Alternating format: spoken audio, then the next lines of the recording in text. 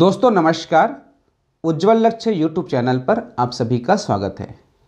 आज के इस वीडियो क्लास में हम इन दोनों प्रश्नों को हल करेंगे और हल करते हुए गणित का एक बेहतरीन कॉन्सेप्ट सीखने वाले हैं। आप देख सकते हैं, प्रश्न है प्रतिशत के सवाल। प्रश्न पहला है शून्य दशमलव चार चार प्रतिशत बराबर। अब बराबर के बाद यहाँ पर देख सकते हैं ऑप्शन दिए गए हैं। ऑप्शन ए चवालीस बट्टा सौ। ऑप्शन बी ग्यारह बट्टा दो सौ पचास, ऑप्शन सी ग्यारह बट्टा पच्चीस और ऑप्शन डी है ग्यारह बट्टा दो हज़ार पाँच सौ।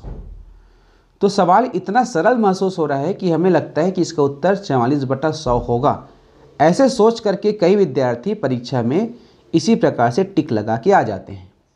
बाद में पता चलता है कि इसका उत्तर तो ये गलत हो गया। तो मेरा कहने का मतलब ये है कि कंपटीशन एग्ज़ाम में सवाल के पश्चात जो ऑप्शन दिए रहते हैं, वो मिलते जुलते रहते हैं। ऐसा लगता है कि हम इसको बिना हल करे ही बना देंगे, है ना? तो देखिए, ऐसी गलती ना करना, थोड़ा सा हल करके बनाना, क्योंकि आप इतनी तैयारी करके एग्ज़ाम में जाते हैं और छोटी सी गलती आपके लिए नुकसानदेह हो सकता है, ठीक है? तो इसको हल करते हैं। पहले नज़र में तो ये लग रहा है कि ऑप्शन ए इसका उत्तर होगा, चालीस बटा सौ, लेकिन ये नहीं है, ठीक है? देखिए, कैसे हल करेंगे? शून्य दशमलव चार चार प्रतिशत इसका दिया गया है। तो जब भी प्रतिशत दिया जाए किसी भी संख्या में, चाहे वो संख्या दशमलव में हो, भिन्न में हो या पूर्ण संख्या हो, आप प्रतिशत को सबसे पहले हटाइए तो प्रतिशत हटाने के लिए क्या कीजिएगा, वो संख्या को हुबहू लिखिए और उसके बटे में आप कर दीजिए सौ। यहाँ से प्रतिशत हट गया, ठीक है? अब यहाँ पर देख सकते हैं दशमलव चार चार बटा सौ है। अब ऊपर का जो संख्या है, अंश का जो संख्या है, उसमें से भी दशमलव को हटाइए। तो इसमें से दशमलव हटाना है तो दशमलव हटाने की प्रक्रिया आप लोग जानते ही है, जैसे कि शून्य दशमलव चार है तो बट्टे में एक लिखते हैं, फिर शून्य लगाते हैं। दशमलव बाद एक है। चूँकि यहाँ से पहले से ही बटे में सौ है तो आपको क्या करना है, दशमलव के बाद जितने अंक है, ये एक अंक, ये दो अंक तो दशमलव को पहले हटा दीजिए, ठीक है? दशमलव हटा दिए और दशमलव के बाद दो अंक थे तो यहाँ पर दो शून्य और लगा दीजिए। बस, ठीक है? अब क्या कीजिएगा? काटिए। अब इसको आपको काटना है, ठीक है?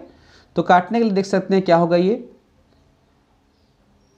दो से जाएगा ही जाएगा, दो दुनी चार, दो दुनी चार, और ये हो जाएगा दो पंचे दस, उसके बाद बाकी तीन बार शून्य हो जाएगा। फिर दो से जाएगा दो एकम दो दो एकम दो ये हो जाएगा पचास का हो जाएगा पच्चीस, और दो बार शून्य और। तो क्या आया? ग्यारह बटा दो हज़ार पाँच सौ। ये इसका उत्तर हुआ। हमने क्या किया? प्रतिशत को पहले हटाया, फिर दशमलव का हटाया और यहाँ पर उत्तर प्राप्त हो गया, कटाने के पश्चात। इसी प्रकार से देख सकते हैं 350 प्रतिशत बराबर। ठीक है? तो यहाँ पर भी देखेंगे, इसमें दिया गया था दशमलव वाली संख्या। यहाँ पर पूर्ण संख्या, है ना? तो इसको क्या करना है? इससे कोई अंतर नहीं होता कि संख्या क्या दिया गया है। प्रतिशत को हटाना अर्थात बटे में आपको करना पड़ेगा सौ। क्या करना है? सौ। ठीक है? अब यहाँ पर देख सकते हैं, संख्याएँ दशमलव या पूर्ण संख्या के रूप में है। इसको आप कटा दीजिए, नीचे एक शून्य काटेंगे, ऊपर एक शून्य कटेगा। नीचे एक शून्य काटेंगे, ऊपर में शून्य नहीं है तो यहाँ पर दशमलव लगेगा। इस प्रकार से तीन दशमलव पाँच इसका उत्तर हुआ ठीक है? तो इस प्रकार से प्रश्नों को धैर्यपूर्वक और आसानी से बनाना है।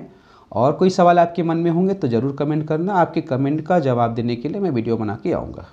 जुड़े रहिएगा उज्ज्वल लक्ष्य यूट्यूब चैनल से। नमस्कार।